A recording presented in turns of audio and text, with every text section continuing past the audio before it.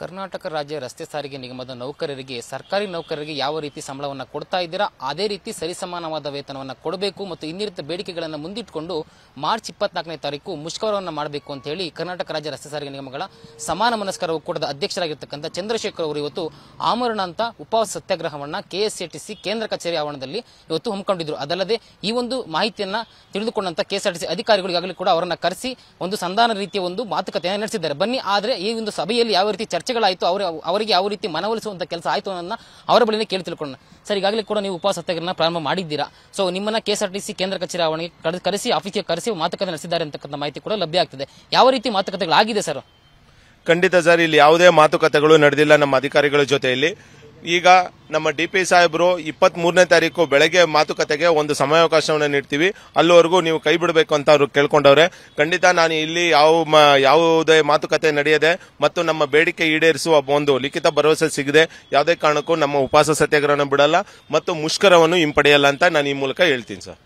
Sir ಅನಂತರ ಅನಂತ ಸುಬ್ಬರಾವ್ ಅವರ ಬಣ ಒಂದು ಮಾರ್ಚ್ ಇಪ್ಪತ್ತೊಂದನೇ ತಾರೀಕು ಮುಷ್ಕರವನ್ನು ಮಾಡ್ತೀರಿ ಅಂತ ಹೇಳಿ ಫಿಕ್ಸ್ ಮಾಡಿತ್ತು. ಸೊ ಅವ್ರನ್ನ ಮನವೊಲಿಸಿ ಈಗಾಗಲೇ ಕೂಡ ಮುಷ್ಕರವನ್ನ ಕೈ ಬಿಟ್ಟಿದ್ದಾರೆ ಆದ್ರೆ ಮಾರ್ಚ್ ಇಪ್ಪತ್ನಾಲ್ಕು ನೀವು ಹಮ್ಮಿಕೊಂಡಿದ್ದಾರೆ ಯಾಕೆ ರೀತಿ ಒಂದು ರೀತಿ ಗೊಂದಲದ ವಾತಾವರಣ ಸೃಷ್ಟಿ ಆಗ್ತಾ ಇದೆ ನೌಕರರಿಗೆ ಅಂತ? ಇದು ಯಾವುದೇ ಒಂದು ಮುಷ್ಕರ ಮಾಡುವ ಉದ್ದೇಶದಿಂದ ಸಾರಿಗೆ ನೌಕರರಿಗೆ ನ್ಯಾಯ ಒದಗಿಸಿಕೊಡುವಂತ ಮುಷ್ಕರದ ಅನೌನ್ಸ್ ಅದಾಗಿರ್ಲಿಲ್ಲ ಸರ್ ನಲವತ್ತು ವರ್ಷಗಳಿಂದ ಒಂದು ಸಂಘಟನೆ ಕಟ್ಟವರು, ಕಟ್ಟಿದವರಿಗೆ ಅವ್ರಿಗೆ ಚೆನ್ನಾಗಿ ಗೊತ್ತಿತ್ತು. ಒಂದು ಕಾರ್ಮಿಕ ಕಾಯ್ದೆಗಳ ಅನ್ವಯ ಅವರು ಹದಿನಾಲ್ಕು ದಿನಗಳು ಬಿಫೋರ್ ಅವರು ನೋಟಿಸ್ನ ಕೊಡಬೇಕಾಗಿತ್ತು. ಅದ್ಯಾವುದು ಕೊಡದಿರ? ನಾವು ಅದಕ್ಕೆ ಅಧಿಕೃತವಾಗಿ ಕಾನೂನು ಬದ್ಧವಾಗಿ ಒಂದು ನೋಟಿಸ್ ಕೊಟ್ಟಿರೋದನ್ನ ಅವರು ಅರಿತು. ತರಾತುರಿಯಲ್ಲಿ ಒಂದು ನೋಟಿಸ್ನ ಇಶ್ಯೂ ಮಾಡ್ತಾರೆ. ಆ ನೋಟಿಸ್ ನೋಟಿಸು ಕೊಟ್ಟಿಲ್ಲ, ಅದೊಂದು ಮನವಿ ಪತ್ರವನ್ನ ಕೊಡ್ತಾರೆ. ಆ ಮನವಿ ಪತ್ರಕ್ಕೆ ಸ್ಪಂದಿಸಿದ ಸರ್ಕಾರಗಳು ಇವ್ ಅವ್ರನ್ನ ಕರೆದು ಮಾತುಕತೆ ಮೂಲಕ ಒಂದು ಹದಿನೈದು ಪರ್ಸೆಂಟ್ ಮುಗಿಸಿದ್ದೆ. ಇದು ಹತ್ತಂಗಾಡು, ಸತ್ತಂಗಾಡು ಸತ್ತಂಗಾಡ್ತೀನಿ ಅನ್ನೋ ಮಾತ್ರ ಇದು ಉದ್ದೇಶ. ಯಾಕಂದ್ರೆ ಸರ್ಕಾರ ಇದು ಉದ್ದೇಶಪೂರ್ವಕವಾಗಿ ಅವರನ್ನೇ ಪ್ರಚೋದನೆ ಮಾಡಿ, ಈ ಮುಷ್ಕರವನ್ನು ಕೊಟ್ಟ, ಕೊಟ್ಟಂಗಾಡಿ, ಮತ್ತೆ ಅವ್ರ ಮುಖಾಂತರ ಇವರು ಸೆಟಲ್ಮೆಂಟ್ ಮಾಡಿದ್ದಾರೆ ಹೊರತು ಸಾರಿಗೆ ನೌಕರಿಗೆ ಅವತ್ತು ಡಿಸೆಂಬರ್ ಎರಡ್ ಸಾವಿರದ ಇಪ್ಪತ್ತರಲ್ಲಿ ಕೊಟ್ರಲ್ಲ. ಅದು ಪೇಪರ್ ಅದು. ನೀವು ವಚನ ಭ್ರಷ್ಟರಾಗ್ತಾ ಇದ್ದೀರಾ ಜನ, ಬಿಜೆಪಿ ಪಕ್ಷದವರೇ, ನೀವು ವಚನ ಭ್ರಷ್ಟರಾಗ್ತಾ ಇದ್ದೀರಾ.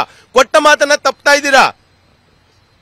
ಒಟ್ಟಾರೆ ಹೇಳೋದ್ರೆ ಬಿಜೆಪಿ ಸರ್ಕಾರ ಏನು ಕೊಟ್ಟ ಭರವಸೆಗಳನ್ನ ಈಡೇರಿಸ್ತಾ ಇಲ್ಲ. ಅನ- ಅದಲ್ಲದೆ ಅನಂತ ಸುಬ್ರ ಅವರ ಬಣ ಏನಿದೆ, ಅವರು ಒಳ ಒಪ್ಪಂದವನ್ನ ಮಾಡಿಕೊಂಡು ಕೇವಲ ಶೇಕಡ ಹದಿನೈದು ಪರ್ಸೆಂಟ್ ವೇತನ ವೆಚ್ಚವನ್ನು ಒಪ್ಪಿಕೊಂಡು ಈ ರೀತಿ ಕುತಂತ್ರಕ್ಕೆ ಮಣಿದು ನಮ್ಮ ಮುಷ್ಕರವನ್ನ ವಿಫಲ ಮಾಡಬೇಕು ಅಂತ ಹೇಳಿ ಕುತಂತ್ರನೇ ಕೆಲಸ ಮಾಡಿದ್ದಾರೆ. ಆದರೆ ಮಾರ್ಚ್ ಇಪ್ಪತ್ನಾಲ್ಕನೇ ತಾರೀಕಿಂದ ಅನಿರ್ದಿಷ್ಟಾವಧಿ ಸಾರಿಗೆ ಮುಷ್ಕರ ನಡೆದೇ ನಡೆಯುತ್ತೆ ಅಂತ ಚಂದ್ರಶೇಖರ್ ಅವರು ಹೇಳ್ತಾ ಇದ್ದಾರೆ.